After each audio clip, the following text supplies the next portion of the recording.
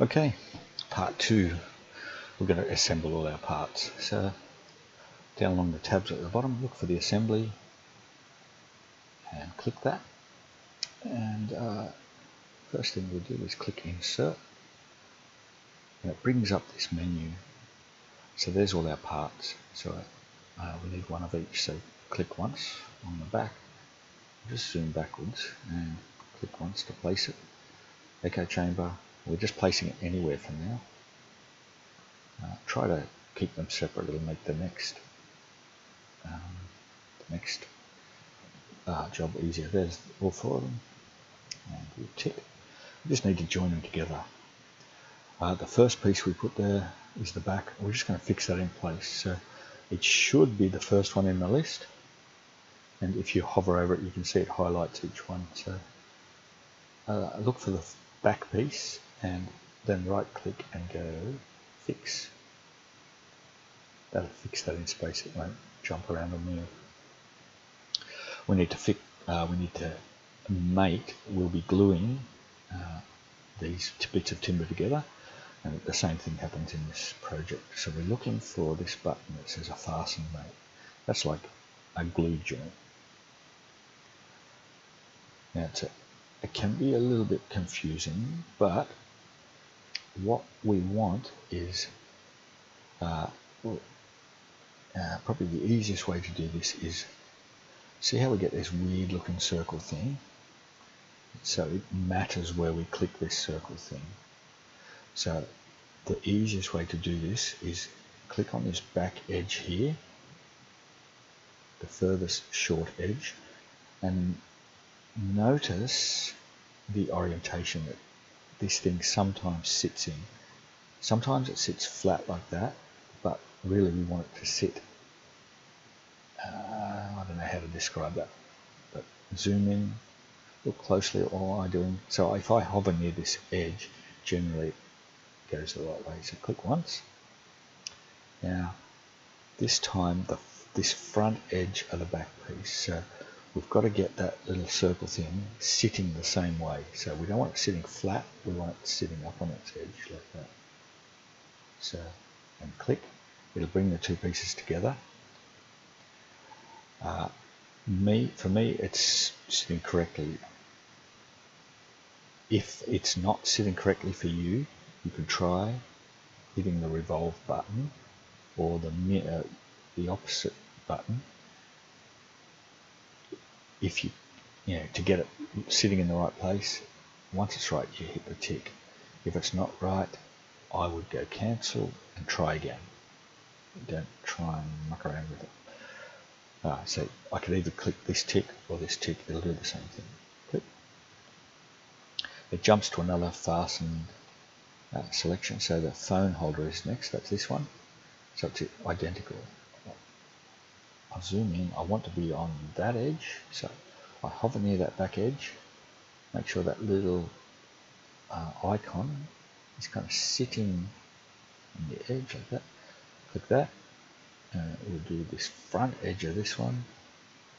Basically, what you're doing is making that edge touch that one.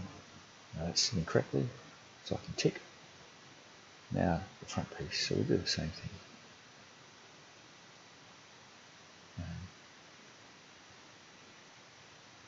There it is. And tick. That's in the right place. And tick. There we go. We've assembled our acoustic speaker. We can cancel this one. It wants us to do another fastening, but we don't need to cancel. Now, rotate around, have a look at it. There's our acoustic speaker. You should be able to see how the sound would get from the phone down through that little gap into the echo chamber and out the sound holes. Alright, we've assembled it. Let's do a drawing. So look for the plus down the bottom here, plus. And we're looking for create drawing. Click that. Okay, we need to change a few of the settings here. So go into the custom template. We click in ISO. Under the size, we'll change that to A4 portrait. Uh, projection, we change that to third angle. So custom template, ISO, A4 portrait, third angle. Everything else can stay as it is and click OK. Now it's creating a drawing. Ah, so there's our drawing page. It's empty at the moment. We need to add stuff. So select a part or assembly. We don't want a part, we want an assembly. There it is there, the assembly. So click once on it and there's the view of it. If you're not viewing the front face, this orientation here, change it to something else. You might have to change it to top. Regardless of what it says here, you want it to look like it's viewing the front face. For me, it is the front face. That's too small. We want it bigger. So let's change the scale. And I think if you go zoom, go back to the top and go 1 to 2, it'll pretty much fit on a page. So at the bottom third of the page, just yeah, center it in there, then click to place it. Now, automatically after we place that, our cursor jumped over, uh, our selection jumped over to this projected view. And it will project a view from this initial view. Really, we just want the top down view. So if you move the cursor, don't have to click anything, just move the cursor up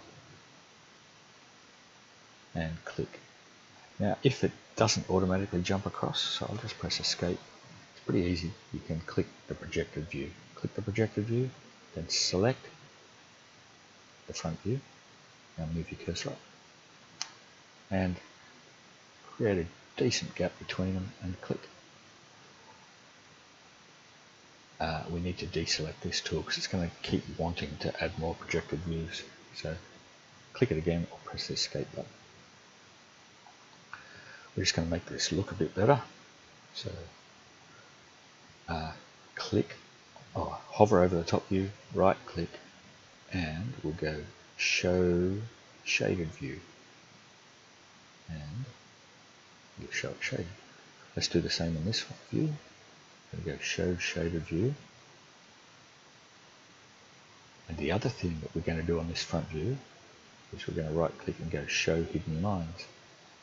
And what it'll do, there's the design of our echo chamber. That's a pretty good drawing. It's just missing some dimensions. So we look for the dimension tool up here and click and uh, the length, you can either do it from this bottom edge or the top edge, it doesn't really matter, just click once, move it up, there it is, 300. We're going to do a little edge there, it'll show us that that timber is 19. We don't need to do the others, but we will also do the front one, and we get that little pink line to show that this one is in line with the one above uh, I'll mark the width of the phone holder. So for this one, we see how it gets that point. Click once on the point, click once on the opposite point, move that down. Is the width of our phone holder. The depth of our phone holder can be taken off this edge. So click once on that edge, place that over there. Uh, the size of the height can be taken off that one. Click and click. The placement of the sound holes is pretty important. So click once on the bottom edge, same as before. This time click the edge of the circle, move it across, it shows that that's 50 up. Um, edge of the acoustic speaker to the edge of the circle, Make sure you don't hit the edge of that echo chamber, but the edge of the circle. Move that down, that's 60. I don't need to do it on both. If it's not dimensioned over here, you assume it's the same on both sides. That's the same with the diameter of these holes. So click once on the circle and move that, that's 54. Uh, we don't need to dimension this one. It's the same. And there's our drawing. So uh, let's just deselect that tool. We're done. Oh, you can add your name to it here. Uh, I think if we double click in there, uh, where do we type? Ah, it's already flashing, it's ready to type. So type your name. Oh, it's got some extra dashes and stuff there, we'll get rid of those. And click the tick. Oh, actually let's name the job that we're doing as well. I might just delete that one, but let's double click that bottom one. We'll call it acoustic speak. Delete that extra text that's there. And the tick. There we go. That will do. We can print that and we get a professional looking uh, drawing. Thank you.